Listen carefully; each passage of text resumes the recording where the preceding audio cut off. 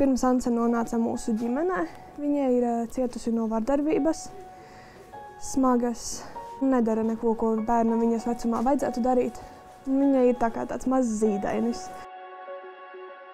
Mans dēliņš grūtniecības laikā viņam apstājās sirsniņa. Un reizēm mums liekas, ka viņš vienkārši izvēlējās aiziet, lai atbrīvotu savu vietu Ancei, lai varētu Ance nonākt pie mums. Ja es būtu Ances vietā, es ļoti gribētu, kā, ka kāds mani paņem, lutina un tā mīļo, kā es viņu.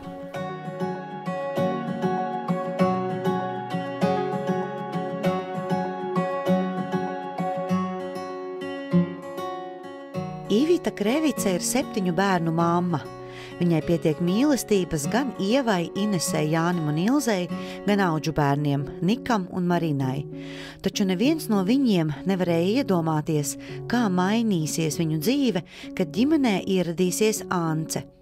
Tobrīd zīdainītis, kas pārcietis neiedomājumu vardarbību. Mazulītes stāvoklis bija tik kritisks, ka medicīnas dokumentos fiksēta arī ārstu ideja par dzīvību uzturošu aparātu atslēgšanu.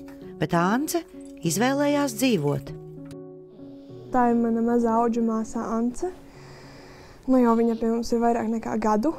Viņa ir tāds ļoti īpašs gadījums ģimenē, ir es teiktu, kaut kas, kas ļoti, ļoti savieno visu ģimeni un saved kopā visus, jo visi vienmēr skraida, kur ancīte, ko ancīte dara, paņem no tevis ancīti, tu noguris un, un tā ļoti, ļoti. Šodien viņai ir uh, labs garas stāvoklis. Tas skaitās labs, jā. Uh, viņai patīk, uh, ja dzird, ka ir cilvēki mājās citi. Uh, nu, sveši pēc balsīm.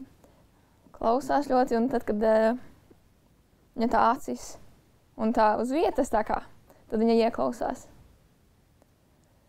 Jā, un ja jau pati arī kaut ko iepriekš kā radīt tās skaņas un komunicēt, tas noteikti nozīmē, ka viņai labs garas stāvoklis ir.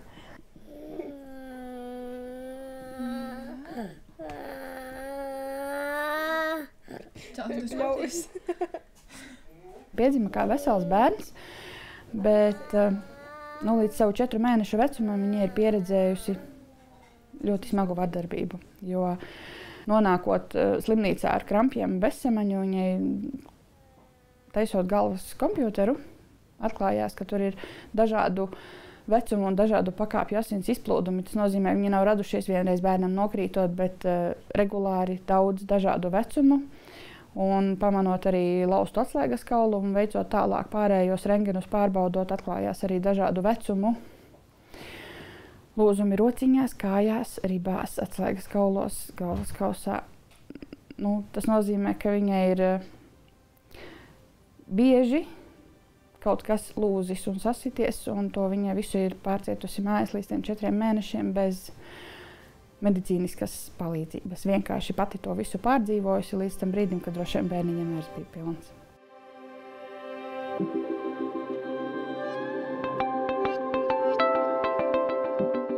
Mūsu tā īpašā sakritība ar Anci ir arī tā, ka viņa ir dzimusi tieši tajā laikā, kad es paliku stāvoklī ar savu dēliņu. Un tajā augustā, kad viņai tas vissmagākais brīdis bijis, kad ir pieņemts lēmums, ka nu, diez vai Anci izdzīvos, mans dēliņš grūtniecības laikā viņam apstājās sirsniņa.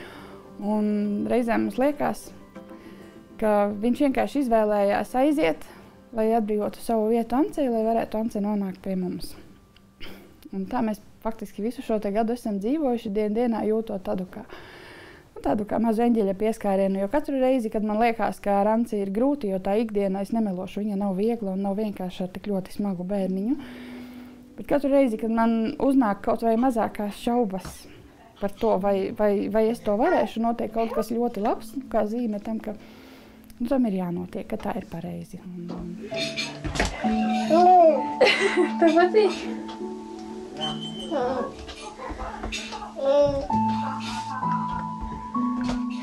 Mamma ir saņēmusi savu sodu, viņa ir notiesāta. Tikai es bieži arī par to domāju, ka mēs mājās par to nemēdzam runāt un pieķerties, jo tas jau Ancei nevienam, ne viņas stāvoklim, tas jau vairs neko nemaina. Vienalga, vai viņa būtu sodīta vai nebūtu sodīta, tas neko nemaina no tā, kas ir nodarīts. Un tad, kad mēs arī ziņās izlasījām par liepājas puisēnu, man liekas, vienbalsīgi visi tajā rītā saskrēja apkārt. Mam, tu lasīji, tu dzirdēji, tu redzēji. Man liekas, mums visiem vienā vārdā likās, cik Ancei pietrūka maz, lai viņa kļūtu par tādu pašu ziņu statistiku. Un tas, tas man liekas, vēl dubultā dod visiem tādu mm, spēku apziņu par to, ka Ancis pēc mēs cīnīsimies vienalga. Nu, tik cik vajadzēs, un, un vēl vairāk.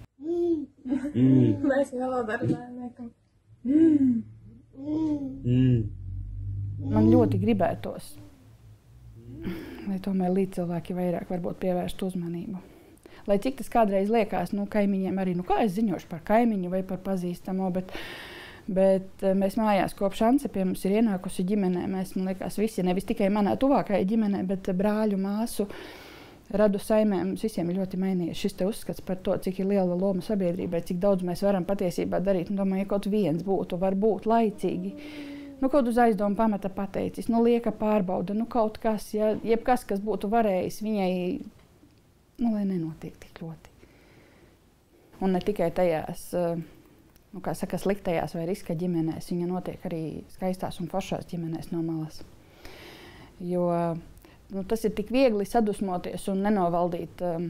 Um, es arī dzirdēju tādu teiktu, attaisnojumu, tā kā paskaidrojumu vardarbībai pret bērnu, ka es nevarēju novaldīties. Viņš mani sakaitināja. Ja, ar bērniem mājās pārunājot kā var reaģēt citādāk. Mēs esam daudz izrunājuši, un pat tagad mani bērni pusauģi saka, es tagad saprotu, jā, ja, ja kādreiz raud vai nevar izturēt, viss noliec viņu gultiņā, izējā izkliedzies, izdarīja jebko. Pēc piecām minūtēm nāc un sāc vēlreiz no gala, ja? bet tikai dieva dēļ nesakrati viņu. Ja? Jo, Ancija ir arī kratītā bērna sindroms. Man liekas, pat tāda vienkārša lieta, zīdaiņa sapurināšana spēja atstāt milzīgas sekas. Un, un domāju, es ļoti ceru, ka vismaz mani bērni, tie, kas pašreiz te kopā ar mums, savu ģimenē, ka nu, viņi vismaz šīs kļūdas nepieļaus. Viņi redz, kādas tam ir sekas. Un, ja es nevaru visu sabiedrību mainīt, es domāju, es varu vismaz izdarīt tik daudz, kā šobrīd caur Ances piemēru skarbo. Vismaz tie bērni, kas aug manā ģimenē, šobrīd nu, viņi nepurinās un nesitīs savus bērnus. Viņi redz, ko tas nodara.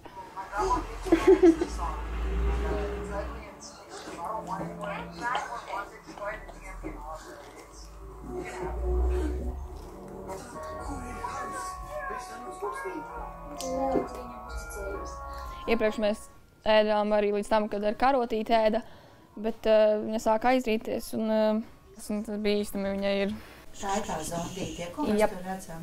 Un tad tā barošana notiek, ka tur pievieno kaut ko? Jā, uh, atskrūvē vaļā un uzskrūvē virsū šprici.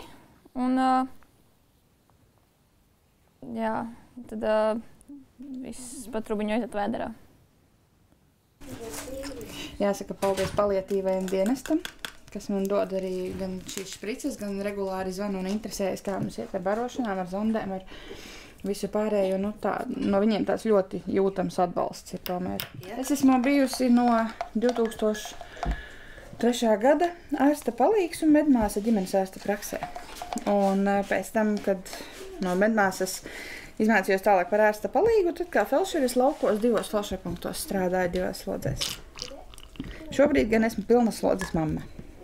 Bet tas nodara šīs zināšanas. Tagad. Uh, jā, viņas nodara. Man jau īstenībā medicīna vienmēr ir bijusi ļoti tuva un mīļa joprojām. Ļoti, ļoti.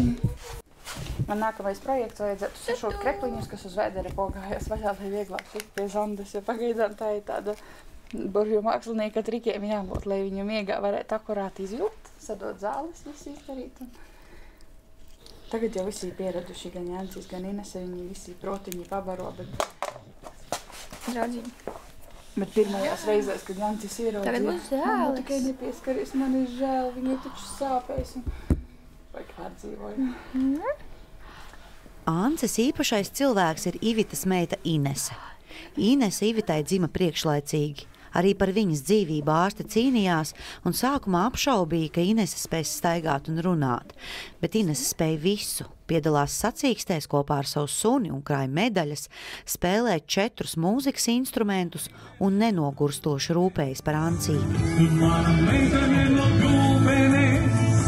Par tevi domāju un stundu skolēs, par tevi vienmēr vēlos būt. Ancīte, Ancīte, Ancīte. Viss labi. Ance, Ance, Ance. Pirmajā ģimenes sapulcē, kad es bērniem izstāstīju par, par to, par kādu bērniņu es saņēmu izziņu un, un kas tā kā gribētu un ko viņi saka. Gan bērni, gan dzīves biedrs, gan mana mamma vienbalsīgi, vispār bez apdomas teica, noteikti ņemam un, un darīsim. Un pat saprotot, ka tas ir visu mūžu bērns, bet tā kā man Inese reiz teica, kad viņai kāds pajautā, nu, kāpēc jūs paņēmāt tādu bērnu?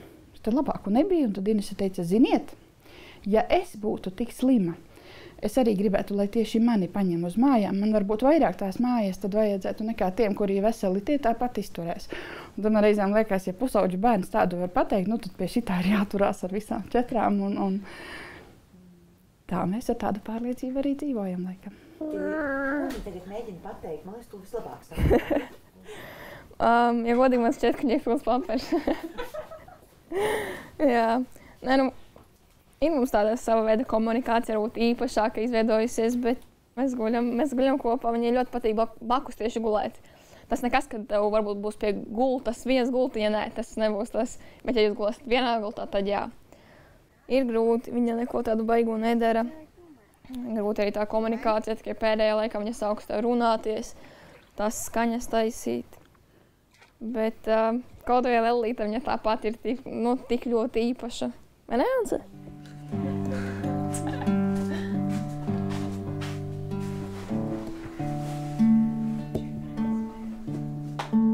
Es spēlēju pilnīgi visu ansēju, bet uh, akordeons pieļauju, ka tāds pa skaļu ir klavier, nu, klavieris viņai patīk arī.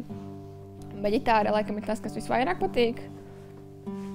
Jā, un, un, un, un bieži sanāk viņai spēlēt, arī bieži pie manis viņa ir un es trenējos savā istabā, tad, tad viņa ļoti klausās. Un kad var redzēt viņas acīs, ka viņai tas interesē un viņa tiešām ieklausās. Tā arī Krevici būtu dzīvojuši un cīnījušies vieni paši, bet meklējot iespējas Ancei palīdzēt, Ivita uzgāja klīniku Polijā. Terapijai bija nepieciešami 8000 eiro, un viņa nolēma lūgt citu cilvēku atbalstu. Esmu pieradusi vienmēr visu tikt galā pati un nekad nevienam nejautāt palīdzību. Nu, nekad, lai, lai cik būtu sevi bērni slimojuši vai grūti. un pēc cik Andrzej ir auģu bērns, tad likās, nu, vēl dubultā tas, ka, ja es viņu paņēmu, tā ir mana izvēle, un man ir jātiek galā jebkurā variantā bez palīdzības lūkšanas. Un, um, man ļoti ilgi bija jāsaņemās, lai vispār saņemtu drosmi un kādam pajautātu par palīdzību. Un es to darīju ļoti tā, kautrīgi, un nepārliecināti un bailīgi. Un, un patiesībā jau biju sagatavojusies fonā, ka, nu, ja nu, ja nu kas, galvenais, ka mums ir šī polija, ka viņa ir iespējama. Un, nu, ka savāksim no radiem un no paziņām paši un tiksim galā paši ar visu. Un, un, un, un tad, kad es uh, pirmos skaitļus redzēju, redzēju komentārus un cilvēku atsaucību, kas man arī privāti pēc tam zvanīja, pazīstami. Un, nu, tā visa diena pagāja tādā eiforijā. Man liekas, ka es vispār nespēju noticēt, ka tas tiešām notiek. Ancija paredzēta cilmes šūnu terapija Polijā, kas varētu palīdzēt ļaut viņai vismaz vismaz daļai šūnu attīstīties jaunām, veselām un, un, un panākt kaut vai nelielus uzlabojumus. Jo Ances stāvoklī priekš mums būtu milzīgs iegūms jau pat tik daudz, ja viņa spētu noturēt galvu, ja viņai pazustu epilepsijas un krampju lēkmes. Jo līdz šim viņai bija tā, ka bija vairāk kā 20 reizes dienā varēja būt krampju lēkmes, un tās bija katru dienu. Un, un Dēļ krampjiem mēs nevarējām veikt arī pilnvērtīgu rehabilitāciju, masāžas, vingrošanas un nekādu slodzi viņai likt. Ceru, ka izdosies panākt maksimālus uzlabojumus, nu, tik cik vien iespējams. Jo man tiešām ir šausmīgi žēl, ka nu, veselam bērnam ir nodarīts tāds kaitējums, jo viņa ir pelnījusi to iespēju dzīvot un nu, dabūt pilnvērtīgu dzīvi. Nākotnē jau būtu ideāli, viņai pati kaut ko varētu vismaz kaut kādu nelielu vairāk komunikāciju, lai viņai pašai galvenais vieglāk nesāp kā nekas. Un, un, un uh, varbūt, lai zāles nav tik daudz jādzer, vai ēšana atsākas noteikti.